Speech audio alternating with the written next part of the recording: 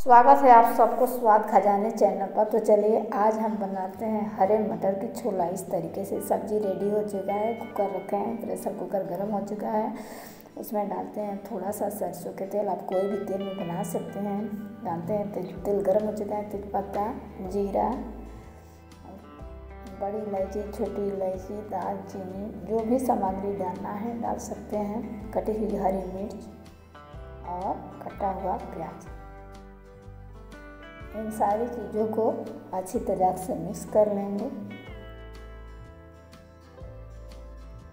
Mix करने के बाद हम इसको ढकते हैं दो मिनट के लिए।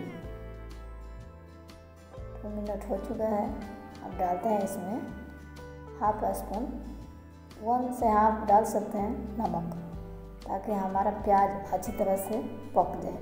फिर डालते हैं हरा मटर।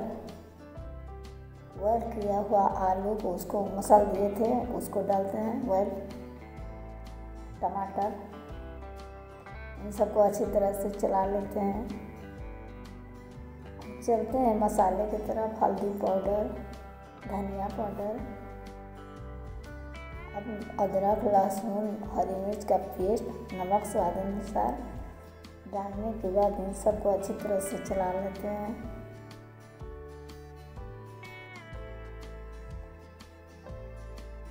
अब इसमें डालते हैं। बॉयल किया हुआ आलू का पेस्ट था, उसमें से थोड़ा सा बचा लिए थे। इसको पानी में घोल दिए और इन सबको डाल दिए। प्रेशर कुकर में इसको अच्छी तरह से मिला लेंगे।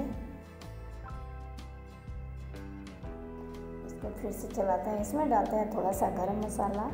सारे मसाले डालने के बाद इसको अच्छी तरह से चला लेंगे। फ्लेम को आप धीमे तेज कर सकते हैं। अब इसको एक बार और ढकते हैं पाँच मिनट के लिए।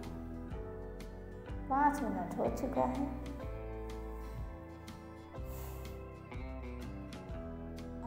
इसमें डालेंगे पानी। पानी अपने अनुसार डालें। और पानी डालने के बाद इन सबको अच्छी तरह से चला लेंगे। अच्छी तरह से चलाएँगे ताकि हमारा मटर और पानी अच्छी तरह से मिल्ट मेल्ट हो जाए। इसको 10 से 15 मिनट के लिए कुकर को करते हैं बंद। 15 मिनट हो चुका है। खोल के देखते हैं। छोला हमारा रेडी हो चुका है।